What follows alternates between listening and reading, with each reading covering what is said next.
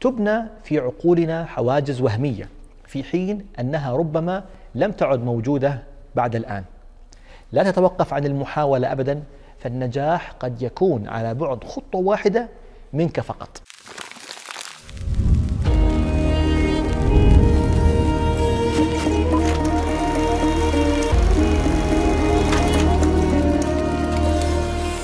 السلام عليكم. في تجربة قام بها أحد علماء الأحياء البحرية تم وضع سمكة قرش كبيرة في حوض مائي وأضيف بعد ذلك مجموعة من الأسماك الصغيرة كطعم للقرش.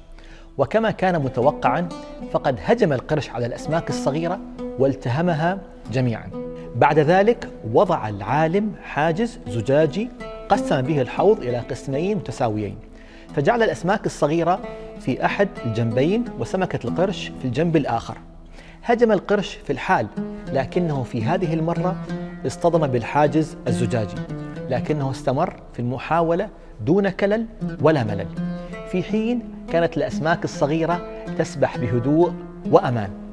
وبعد مرور مدة من الوقت استسلم القرش أخيرا وتوقف عن المحاولة.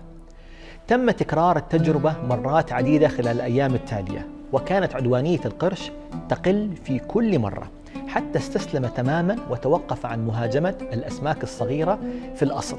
عندها أزال عالم الأحياء اللوح الزجاجي.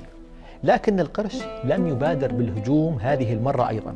فقد أصبح مؤمنا ومقتنعا بوجود الحاجز الخفي بينه وبين الأسماك الصغيرة. كثيرون هم من يفقدون الأمل تماما بعد تلقيهم صدمات وفشلهم في عدة مرات. كما هو الحال مع سمكة القرش. نفضل حينها البقاء مثقلين بهزائم الماضي. وبأننا لن ننجح ابدا. تبنى في عقولنا حواجز وهمية في حين أنها ربما لم تعد موجودة بعد الآن. لا تتوقف عن المحاولة ابدا فالنجاح قد يكون على بعد خطوة واحدة منك فقط. يومكم سعيد.